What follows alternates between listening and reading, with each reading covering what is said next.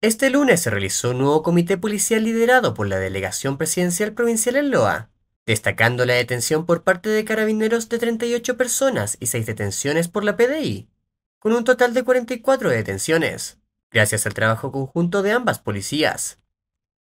Las principales estadísticas y que hay que destacar de la semana que acaba de pasar tienen que ver con que hubo más de 40 detenciones por parte de ambas policías. La mayor cantidad de detenciones tiene que ver con controles, eh, perdón, con órdenes de detención pendientes, lo que da cuenta de que también ha existido un aumento de los controles por parte de carabineros y de la PDI.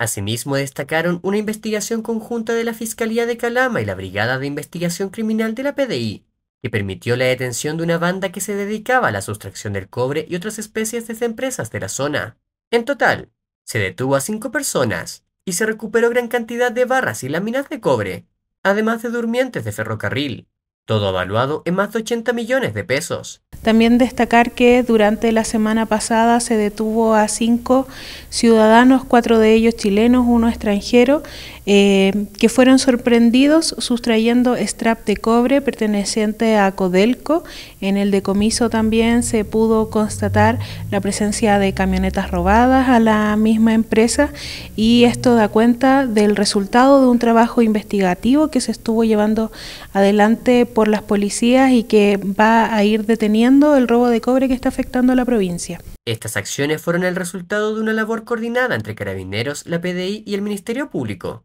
donde destacaron que la mayoría de las detenciones que se han realizado son de personas con órdenes de detención vigente,